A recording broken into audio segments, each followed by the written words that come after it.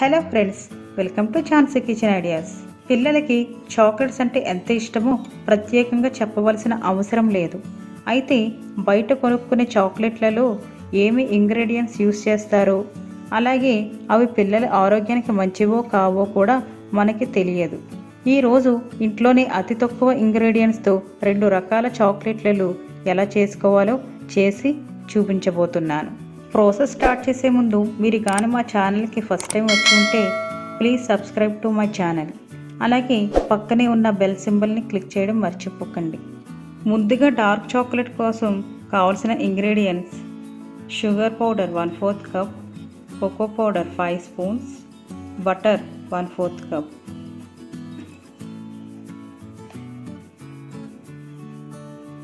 ఇంకా ప్రాసెస్లోకి వెళ్తే ఫస్ట్ స్టవ్ ఆన్ చేసుకుని ఇలా ఒక గిన్నెలో వాటర్ సగం వరకు వేసుకొని వాటర్ బాయిల్ అయ్యేంత వరకు మరిగించుకోవాలి.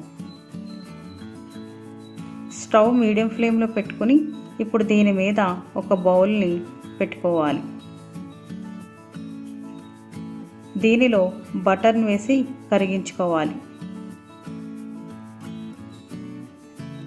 మీ దగ్గర బటర్ లేకపోతే కనుక కోకోనట్ ఆయిల్ కానీ డాల్డా అయినా యూస్ చేయవచ్చు. ఇలా బటర్ అంతా కరిగిన తర్వాత షుగర్ పౌడర్ని వేసి బాగా కలిసేలా మిక్స్ చేసుకోవాలి.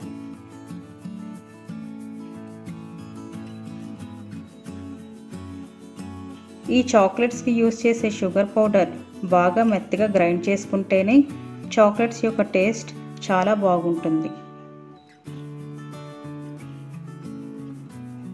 అలాగే షుగర్ బటర్లో బాగా మిక్స్ అయిపోవాలి. ఇంకా చివరిగా కోకో పౌడర్ వేసి బాగా మిక్స్ చేసుకోవాలి.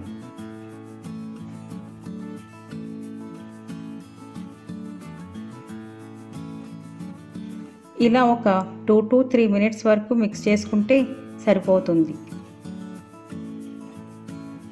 చాక్లెట్ టెక్స్చర్ ఇలా ఈ కన్సిస్టెన్సీ ఉంటే సరిపోతుంది. ఇంకా స్టవ్ ఆఫ్ చేసుకొని ఈ చాక్లెట్ మిక్స్చర్ ఇలా ఈ మౌడ్స్లోకి ట్రాన్స్ఫర్ చేసుకోవడమే. అన్నీ ఫిల్ చేసుకున్నాక ఇలా ట్యాప్ చేసుకుంటే ఏమైనా గ్యాప్స్ ఉన్నా ఫిల్ అయిపోతాయి. ఒకవేళ మీ దగ్గర మౌడ్స్ లేకపోతే కనుక ఇలా ఐస్ క్యూబ్స్ ట్రేలో కూడా చాక్లెట్ మిక్చర్ని వేసుకోవచ్చు.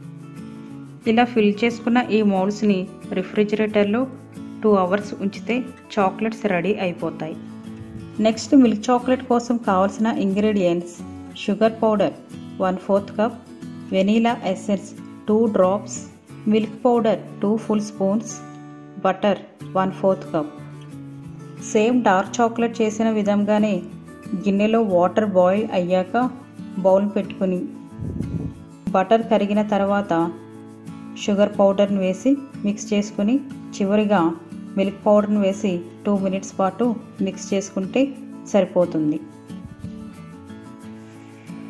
ఇంకా లాస్ట్ దీనిలో వెనీలా ఎసెన్స్ టూ డ్రాప్స్ వేసి మిక్స్ చేసుకుని మౌడ్స్లోకి ఈ మిల్క్ చాక్లెట్ మిక్స్చర్ని వేసి రిఫ్రిజిరేటర్లో టూ అవర్స్ ఉంచితే మిల్క్ చాక్లెట్స్ రెడీ అయిపోతాయి. ఇలా ఈజీగా డార్క్ చాక్లెట్స్ మరియు మిల్క్ చాక్లెట్స్ని ప్రిపేర్ చేసుకోవచ్చు. ఇలా చేసి పిల్లలకిస్తే చాలా ఇష్టంగా తినేస్తారు. సో ఫ్రెండ్స్ ఈ వీడియో కనుక నచ్చితే లైక్ చేయండి. ఇలాంటి ఇంట్రెస్టింగ్ అండ్ టేస్టీ రెసిపీస్ కోసం మా ఛానల్ని సబ్స్క్రైబ్ చేయండి. అలాగే మీ ఫ్రెండ్స్ అండ్ రిలేటివ్స్కి షేర్ చేయండి. Thank you.